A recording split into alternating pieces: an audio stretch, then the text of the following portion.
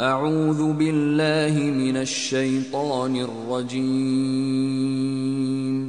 بسم الله الرحمن الرحيم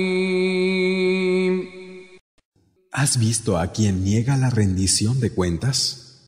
Ese es el que desprecia al huérfano y no exhorta a dar de comer al mendigo.